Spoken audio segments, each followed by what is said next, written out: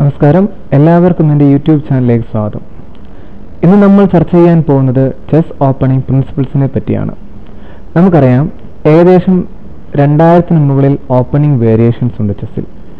ഇത് മുഴുവനും പഠിക്കുക എന്നതൊരു തുടക്കക്കാരനെ സംബന്ധിച്ചിടത്തോളം വളരെ പ്രയാസമുള്ള കാര്യമാണ്. ഇതിനൊരു പരിഹാരം എന്ന രീതിയിലാണ് നമ്മൾ ചെസ് ഓപ്പണിംഗ് പ്രിൻസിപ്പിൾസ് പഠിക്കുന്നത്. ഓക്കെ. പ്രധാനമായും മൂന്ന് പ്രിൻസിപ്പിൾസിനെ ബേസ് ചെയ്തിട്ടാണ് നമ്മൾ ചെസ് ഓപ്പണിംഗ് നടത്താറ്. അവ ഏതൊക്കെയാണെന്ന് നമുക്ക് പരിശോധിക്കാം. ഓക്കെ അതിൽ ഒന്നാമത്തെ നിയമം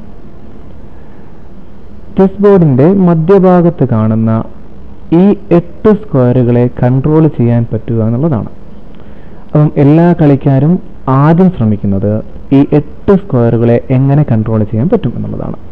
നമുക്ക് രണ്ട് രീതിയിൽ കൺട്രോൾ ചെയ്യാം. ഒന്ന് ഡയറക്റ്റ് കൺട്രോളിംഗ് ആണ് രണ്ടാമത്തത് ഇൻഡയറക്റ്റ് കൺട്രോളിംഗ് അത് തമ്മിലുള്ള വ്യത്യാസം എന്താണെന്ന് നമുക്ക് നോക്കാം. ഓക്കെ നമുക്കറിയാം ചെസ് ബോർഡിൽ ചെസ് ഗെയിമിൽ വൈറ്റിനാണ് ആദ്യത്തെ മൂവ് അപ്പം വൈറ്റ് ഒരു മൂവ് നടത്തുന്നു. ഇ ഫോർ ഓക്കെ ഇവിടെ നോക്കൂ. ഇവിടെ രണ്ട് സ്ക്വയറുകളെ ഇപ്പോൾ ഈ വൈറ്റ് പോൺ കൺട്രോൾ ചെയ്യുന്നുണ്ട്. കൃത്യമായി പറയുകയാണെങ്കിൽ ഡി ഫൈവ് സ്ക്വയറും എഫ് ഫൈവ് സ്ക്വയറും ഓക്കെ ഈ സ്ക്വയറിൽ എന്തൊക്കെ സംഭവിക്കണമെന്ന് ഇപ്പം എന്തൊക്കെ നടക്കണം എന്ന് തീരുമാനിക്കുന്നത് ഈ പോണാണ് ഉദാഹരണത്തിന് നമ്മൾ ഇ ഫോർ അല്ലെങ്കിൽ രാജാവിന് മുമ്പിലുള്ള ആളെ രണ്ട് മുന്നോട്ട് മൂവ് ചെയ്യുന്നു രണ്ട് കളം മുന്നോട്ട് മൂവ് ചെയ്ത് കഴിഞ്ഞാൽ നമ്മൾ നേടുന്ന ഒരു കാര്യം ഈ ബ്ലാക്കിന് പിന്നെ ഇങ്ങനൊരു മൂവ് സാധ്യമല്ല എന്നുള്ളതാണ്. കാരണം നമുക്ക് എപ്പം വേണമെങ്കിലും ഇതിനെ വെട്ടിയെടുക്കാം. ഓക്കെ ഇത് സെൻട്രൽ കൺട്രോളിംഗ് എന്ന് വിളിക്കുന്നത്. ഓക്കെ ഇപ്പം വൈറ്റിനെ സംബന്ധിച്ചുള്ള രണ്ട് സ്ക്വയറുകൾ കൺട്രോൾ ചെയ്തിട്ടുണ്ട് വൈറ്റ് ഓക്കെ അപ്പോൾ സ്വാഭാവികമായിട്ടും ബ്ലാക്കിന് വെറുതെ നിൽക്കാൻ പറ്റില്ല. ബ്ലാക്ക് എന്ത് ചെയ്യുന്നു? സെൻട്രൽ സ്ക്വയറുകളെ കൺട്രോൾ ചെയ്യാൻ ശ്രമിക്കുന്നു. ഓക്കെ ഇത് നോക്കൂ ഇവിടെ വൈറ്റിന് രണ്ട് സെൻട്രൽ സ്ക്വയറുകളുടെ കൺട്രോളുണ്ട് ബ്ലാക്കിനും അതുപോലെ രണ്ട് സെൻട്രൽ സ്ക്വയറുകൾ കൺട്രോളുണ്ട് ഓക്കെ ഇതാണ് ചെസ്സിന്റെ ഒന്നാമത്തെ തിയറി അപ്പോൾ ഓപ്പണിങ്ങിന്റെ ആദ്യത്തെ ഒരു പത്ത് മൂവുകളോളം നമ്മൾ ശ്രമിക്കുന്നത് ഈ സെൻട്രൽ പോണുകൾ കൺട്രോൾ ചെയ്യാനാണ്. ഓക്കെ ദെൻ ഇതാണ് ഒന്നാമത്തെ സിദ്ധാന്തം. ഇനി രണ്ടാമത്തെ എന്താണെന്ന് നോക്കാം. രണ്ടാമത്തത് പീസ് ഡെവലപ്മെന്റ് ആണ്. അല്ലെങ്കിൽ കരുക്കൾ പുറത്തേക്ക് ഇറങ്ങുക നമ്മൾ മലയാളത്തിൽ വേണമെങ്കിൽ പറയാം. ഓക്കെ ഉദാഹരണത്തിന് നമുക്കറിയാം ഈ ചെസ് ബോർഡിൽ നിങ്ങൾക്ക് നാല് നൈറ്റുകളെ കാണാൻ സാധിക്കും. ഓക്കെ നമുക്ക് ഇവ നാലെണ്ണത്തിന്റെയും പ്രത്യേകത എന്തൊക്കെയാണെന്ന് നോക്കാം. ഓക്കെ ഒന്നാമത്തെ നൈറ്റ് ഇവിടെ ഫസ്റ്റ് കാണുന്ന എ വണ്ണിൽ കാണുന്ന നൈറ്റ് ഓക്കെ ഈ നൈറ്റിന് ഈ രണ്ട് സ്ക്വയറിലേക്ക് മാത്രമേ ഇപ്പോൾ കൺട്രോളിംഗ് ഉള്ളൂ. രണ്ട് സ്ക്വയറിലേക്ക് കൺട്രോൾ അല്ലെങ്കിൽ അടുത്ത മൂവ് മൂവ് നടത്താൻ പറ്റും. അത് ദെൻ നമുക്ക് ഈ നൈറ്റിന് നോക്കാം. ഈ നൈറ്റിന് ഒന്ന് രണ്ട് മൂന്ന് നാല്. നാല് കളങ്ങളിലേക്ക് ചാടാൻ പറ്റും. ഓക്കെ ഇതാണ് നടുവിലുള്ള നൈറ്റ് ഇതിന്റെ പ്രത്യേകത നോക്കാം. ഒന്ന് രണ്ട് മൂന്ന് നാല് അഞ്ച് ആറ് ഏഴ് എട്ട്. ഓക്കെ ഈ നൈറ്റിനോ ഏകദേശം ഒന്ന് രണ്ട് മൂന്ന്. ഒന്ന് രണ്ട് മൂന്ന്. ഓക്കെ ഈ ഡയഗ്രത്തിൽ നിന്ന് ഒരു ഒരു കാര്യം വ്യക്തമാണ്. നൈറ്റ് എപ്പോഴും ചെസ് ബോർഡിന്റെ മധ്യഭാഗത്താണ് കാണപ്പെടേണ്ടത്. കാരണം മധ്യഭാഗത്ത് ഉള്ള നൈറ്റിന് മാത്രമേ എട്ട് സ്ക്വയറുകൾ കൺട്രോൾ ചെയ്യാൻ പറ്റൂ. ഓക്കെ അപ്പം ചെസ് ഓപ്പണിങ്ങിൽ അടുത്തൊരു സിദ്ധാന്തം എന്ന് പറയുന്നത് നൈറ്റിനെ അതിന്റെ ചെസ് ബോർഡിന്റെ മധ്യത്തിലേക്ക് എത്തിക്കുക എന്നുള്ളതാണ് ഓക്കെ നൈറ്റ് മാത്രമല്ല ബിഷപ്പ് ആണെങ്കിലും റൂക്ക് ആണെങ്കിലും അങ്ങനെ ഏറ്റവും കൂടുതൽ ഫങ്ഷൻ ചെയ്യാൻ പറ്റുന്ന സ്ക്വയറിലേക്ക് അത് എത്തി- എത്തിക്കണം. ഇതിനെയാണ് പീസ് ഡെവലപ്മെന്റ് എന്ന് വിളിക്കുന്നത്. ഓക്കെ വേണമെങ്കിൽ നമുക്ക് അടുത്തതായിട്ട് ബിഷപ്പിന്റെ കേസ് എടുക്കാം. ഓക്കെ. ഇവിടെ രണ്ട് ബിഷപ്പിനെയും കാണാം. ഇതാണ് ഒന്നാമത്തെ black bishop that mean light square black bishop okay ഇത് വൈറ്റ് ബിഷപ്പ് ഓക്കെ ഇതിൽ ഇവിടെ നോക്കൂ. ഈ ബ്ലാക്ക് ബിഷപ്പിന് ആകെപ്പാടെ മൂവ് ചെയ്യാൻ പറ്റുന്ന രണ്ടേ രണ്ട് സ്ഥലത്തേക്കാണ് വൺ ടു ഓക്കെ ബട്ട് നമ്മുടെ white ബിഷപ്പിനോ one two three four five six seven eight nine okay ഇത് രണ്ട് തമ്മിൽ വ്യത്യാസം എന്ന് പറയുന്നത് ഈ ബിഷപ്പ് ഒരു ഓപ്പൺ ഡയഗണിലാണ് ഉള്ളത് ഇതിനെ നമ്മൾ ഓപ്പൺ ഡയഗൺ എന്ന് വിളിക്കുന്നു. ഈ ഡയഗണിന്റെ പേര് A one to H A diagonal diagonal bishop എപ്പോഴും നമ്മളറിയാം നൈറ്റിന്റെ കാര്യം നമ്മൾ പറഞ്ഞു. നൈറ്റ് എപ്പോഴും ചെസ് ബോർഡിന്റെ സെന്ററിൽ ലൊക്കേറ്റ് ചെയ്യപ്പെടണം അല്ലെങ്കിൽ സെന്ററിൽ എത്തണം. ബിഷപ്പ് ആണെങ്കിൽ ഓപ്പൺ ഡയഗണലിലേക്ക് എത്തണം. ഓക്കെ ഇതാണ് ചെസ്സിലെ ചെസ് ഗെയിമിലെ ബിഷപ്പിന്റെ ഡെവലപ്മെന്റ് എന്ന് വിളിക്കുന്നത്. ഓക്കെ അടുത്തതായിട്ട് നമുക്ക് റൂക്ക് നോക്കാം.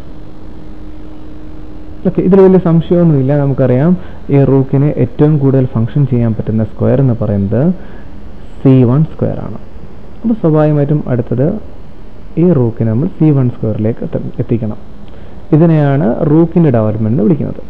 ഓക്കെ അപ്പം പോൺസ് ഉപയോഗിച്ച് നമ്മൾ സെൻട്രൽ സ്ക്വയർ കൺട്രോൾ ചെയ്ത് കഴിഞ്ഞാൽ പിന്നീട് ചെയ്യേണ്ടത് നമ്മുടെ പീസ് ഡെവലപ്മെന്റ് ആണ്.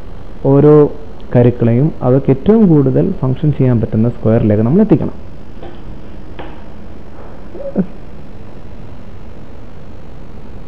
ഒന്നും കൂടി പരിശോധിക്കാം നമുക്ക്. നമ്മൾ ഈ പറഞ്ഞ ഈ മൂന്ന് കാര്യങ്ങളും സോറി ക്ഷമിക്കണം രണ്ട് കാര്യങ്ങൾ. ഒരു മൂന്നാമത്തെ കാര്യം നമ്മൾ പറയാൻ പോകുന്നതേ ഉള്ളൂ. ഈ രണ്ട് കാര്യങ്ങളും ഓപ്പണിങ്ങിൽ എങ്ങനെ വർക്ക് ചെയ്യുമെന്ന് നോക്കാം. നമ്മൾ ആദ്യം പറഞ്ഞു ചെസ് ഓപ്പണിങ്ങിന്റെ ഒന്നാമത്തെ സിദ്ധാന്തം എന്ന് പറയുന്നത് സെൻട്രൽ സ്ക്വയർസ് കൺട്രോൾ ചെയ്യുക എന്നുള്ളതാണ്. അതിനുവേണ്ടി നമ്മൾ ഇ ഫോർ മൂവ് ചെയ്തു.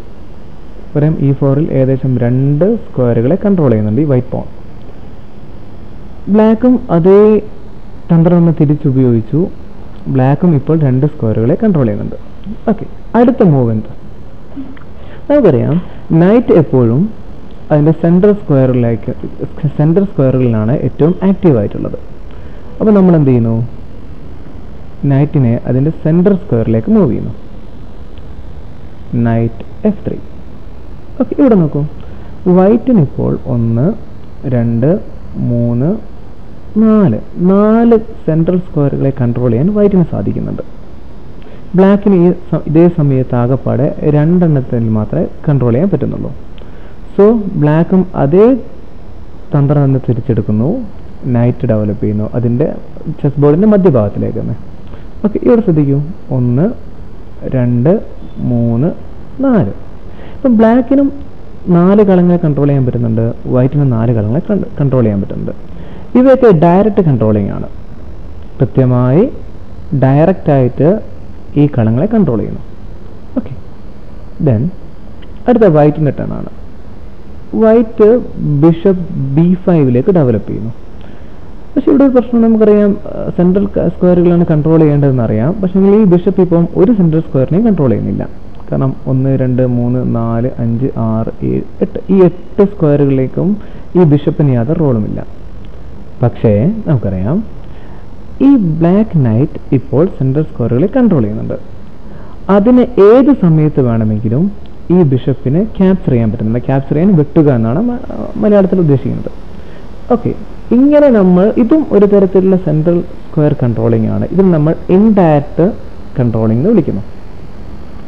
ഇൻഡയറക്റ്റ് കൺട്രോളിംഗ് ഇൻഡയറക്റ്റ് കൺട്രോളിംഗ് എന്ന് ഉദ്ദേശിക്കുന്നത് സെൻട്രൽ സ്ക്വയറിനെ കൺട്രോൾ ചെയ്യുന്ന പീസിനെ കൺട്രോൾ ചെയ്യുക. ഓക്കെ ഇവിടെ സെൻട്രൽ സ്ക്വയറിനെ കൺട്രോൾ ചെയ്യുന്ന ഒരു പീസാണ് ഈ ബ്ലാക്ക് നൈറ്റ് അതിനെ ആര് കൺട്രോൾ ചെയ്യുന്നു? ഈ വൈറ്റ് ബിഷപ്പ് കൺട്രോൾ ചെയ്യുന്നു. Okay The move move, six ഇതും നമുക്കറിയാം ഒറ്റ നോട്ടത്തിൽ മധ്യഭാഗത്തുള്ള ഒരു സ്ക്വയറിനെ പോലും കൺട്രോൾ ചെയ്യുന്നില്ല. പക്ഷേ മധ്യഭാഗത്തുള്ള സ്ക്വയറിനെ കൺട്രോൾ ചെയ്യുന്ന ഈ ബിഷപ്പിനെ ആര് കൺട്രോൾ ചെയ്യുന്നുണ്ട്? ഈ പോൺ കൺട്രോൾ ചെയ്യുന്നുണ്ട്. അപ്പം ഇതും ഒരു ഡെവലപ്മെന്റ് മൂവ് ആണെന്ന് വിളിക്കാം. ഓക്കെ ഈ ബിഷപ്പിന് അധികം നേരം ഇവിടെ നിൽക്കാൻ പറ്റില്ല. ബിഷപ്പ് പുറകോട്ട് മാറുന്നു. ഓക്കെ ഇനി ബ്ലാക്കിന്റെ ടേൺ ആണ്. ബ്ലാക്കിന് ഇവിടെ ഒരു രണ്ട് മൂന്ന് മാർഗങ്ങളുണ്ട്. ഒന്ന് ഈ ബിഷപ്പിന് ഇവിടേക്ക് വരാം. കാരണം ഇവിടേക്ക് വരികയാണെങ്കിൽ നമുക്കറിയാം ഇതാണ് ഒരു ബിഷപ്പിനുള്ള ഓപ്പൺ ടേൺ ഏകദേശം ഒന്ന് രണ്ട് മൂന്ന് നാല് അഞ്ച് ആറ് കളങ്ങൾ കൺട്രോൾ ചെയ്യാൻ പറ്റും. അതല്ലെങ്കിൽ ഈ നൈറ്റിന് എഫ് സിക്സിലേക്ക് വരാം. ഓക്കെ നൈറ്റ് എഫ് സിക്സിലേക്ക് വന്നു വിചാരിക്കും. അപ്പം ഒന്ന് രണ്ട്. ഇത് നൈറ്റ് ചെസ് ബോർഡിന്റെ മധ്യഭാഗത്തേക്ക് വന്നു. കൂടാതെ രണ്ട് സെൻട്രൽ സ്ക്വയറുകളെ കൺട്രോൾ ചെയ്യുന്നുണ്ട്. ഓക്കെ അപ്പോൾ നമ്മൾ പഠിച്ച ഈ രണ്ട് സിദ്ധാന്തങ്ങളും ഒന്ന് സെൻട്രൽ സെൻട്രൽ സ്ക്വയറിനെ കൺട്രോൾ ചെയ്യുക എന്ന സിദ്ധാന്തവും പീസ് ഡെവലപ്മെന്റും ഇവ രണ്ടും എങ്ങനെയാണ് ചെസ് ഓപ്പണിങ്ങിൽ വർക്ക് ചെയ്യുന്നതെന്നുള്ളത് ഏകദേശം നമുക്ക് മനസ്സിലായി കാണും. ഒരു ഉദാഹരണം കൂടി നമുക്ക് നോക്കാം. നമുക്കറിയാം സെൻട്രൽ സ്ക്വയറുകളെ കൺട്രോൾ ചെയ്യുന്നതാണ് ചെസ്സിന്റെ ആദ്യത്തെ നിയമം. സോ ഡി ഫോർ കളിച്ചു എന്ന് വിചാരിക്കുക ഓക്കെ ദെൻ ബ്ലാക്ക് ഇവിടെ എച്ച് സിക്സ് കളിക്കുകയാണെങ്കിൽ നമുക്കറിയാം ഇതൊരു വളരെ മോശപ്പെട്ടൊരു മൂവാണ് കാരണം ഇവ എന്ത് ചെയ്യുന്നില്ല? ഈ സെൻട്രൽ സ്ക്വയറുകളെ കൺട്രോൾ ചെയ്യുന്നില്ല. അത് നമ്മുടെ ഓപ്പണിംഗ് പ്രിൻസിപ്പിളിനെതിരാണ് ഓക്കെ ബ്ലാക്കിന് വേണമെങ്കിൽ നൈറ്റിനെ കൊണ്ട് ആദ്യം വേണമെങ്കിൽ പോൺ മൂവിന് പകരം ഫസ്റ്റ് നിന്ന് നൈറ്റ് മൂവ് നടത്താവുന്നതാണ്. അതും എന്ത് ചെയ്യുന്നു? സെൻട്രൽ സ്കോർ കൺട്രോൾ ചെയ്യുന്നുണ്ട്. അത് മാത്രമല്ല നൈറ്റ് ഏറ്റവും അതിന്റെ ആക്റ്റീവായ സ്ഥലത്തേക്ക് എത്തുകയും ചെയ്യുന്നു. ഓക്കെ ഇതൊക്കെ ഇത് ഇതാണ് പ്രധാനപ്പെട്ട രണ്ട് ചെസ് തിയറി ചെസ് അല്ലെങ്കിൽ ഓപ്പണിംഗ് സിദ്ധാന്തങ്ങൾ. ഓക്കെ ഈ ഗെയിം കുറച്ചും കൂടി മുന്നോട്ട് പോയി നോക്കാം. വീണ്ടും വൈറ്റ് എന്ത് ചെയ്യുന്നു? സെൻട്രൽ സ്ക്വയറുകളെ കൺട്രോൾ ചെയ്യാൻ ശ്രമിക്കുന്നു. ഓക്കെ ഇപ്പം ഈ ഒരു സ്ക്വയർ എടുക്കൂ. ഈ വൈറ്റിന് വൈറ്റിന് ഒരേ ഒരു കൺട്രോളിങ് മാത്രമേ ഈ സ്ക്വയറിലേക്കുള്ളൂ പക്ഷേ ബ്ലാക്കിനിപ്പോൾ വൺ ടു രണ്ട് പീസ് ഉപയോഗിച്ച് കൺട്രോൾ ചെയ്യുന്നുണ്ട്. ഓക്കെ സോ വൈറ്റ് വീണ്ടും എന്ത് ചെയ്യാണ്? ആ സ്ക്വയറിലെ കൺട്രോളിങ് കൂട്ടുന്നു. മൂന്നാമത്തെ ഒരു പീസ് ഉപയോഗിച്ചിട്ട് ഇപ്പം വൺ ടു രണ്ട് പീസ് രണ്ട് കൺട്രോളിങ് വരുന്നു. ബ്ലാക്കിനും രണ്ട് കൺട്രോളിങ് ഓക്കെ ദെൻ ബ്ലാക്ക് എന്ത് ചെയ്യുന്നു? ഇൻഡയറക്റ്റ് കൺട്രോളിങ് ഈ സ്ക്വയർ നമ്മൾ ഇൻഡയറക്റ്റ് ആയിട്ട് കൺട്രോൾ ചെയ്യാം. ഇൻഡയറക്റ്റ് കൺട്രോളിംഗ് കൊണ്ട് ഉദ്ദേശിക്കുന്നത് ഈ സ്ക്വയറിനെ കൺട്രോൾ ചെയ്യുന്ന നൈറ്റിനെ ഈ ബിഷപ്പ് കൺട്രോൾ ചെയ്യുന്നു. ഓക്കെ ദെൻ അടുത്തൊരു ഡെവലപ്മെന്റ് മൂന്ന് ആ, അടുത്തൊരു development move queen C two okay ചെസ്സിലെ മൂന്നാമത്തെ സിദ്ധാന്തം പറയുന്നത് കിങ് സേഫ്റ്റിയാണ് കിങ് സേഫ്റ്റി കൊണ്ട് ഉദ്ദേശിക്കുന്നത് കിങ് എപ്പോഴും സേഫ് ആയിട്ടുള്ള ഭാഗത്തിലേക്ക് പോകണം അത് നമ്മൾ കാസ്ലിംഗ് എന്നാണ് ഇതിനെ വിളിക്കുക. ഓക്കെ കാസ്ലിംഗ് സുഹൃത്തുക്കളെ അപ്പോൾ നമ്മൾ ഇന്ന് മൂന്ന് കാര്യങ്ങൾ പ്രധാനപ്പെട്ട മൂന്ന് കാര്യങ്ങളാണ് പഠിച്ചത്. മൂന്ന് ചെസ് ഓപ്പണിംഗ് പ്രിൻസിപ്പിൾസ് ഒന്ന് ചെസ് ബോർഡിലെ സെൻട്രൽ സ്ക്വയറിനെ കൺട്രോൾ ചെയ്യുക. രണ്ട് പീസ് ആക്ടിവിറ്റി ഏതൊക്കെ പീസുകളാണോ അത് ഏറ്റവും ഭംഗിയായി പ്രവർത്തിക്കാൻ പറ്റുന്ന ആ സ്ക്വയറിലേക്ക് എത്തിക്കുക.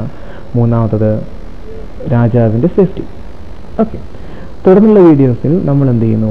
ഓരോ ഓപ്പണിങ്ങും അതിന് പിന്നിലുള്ള ആശയങ്ങളും കൃത്യമായി പഠിക്കുന്നു.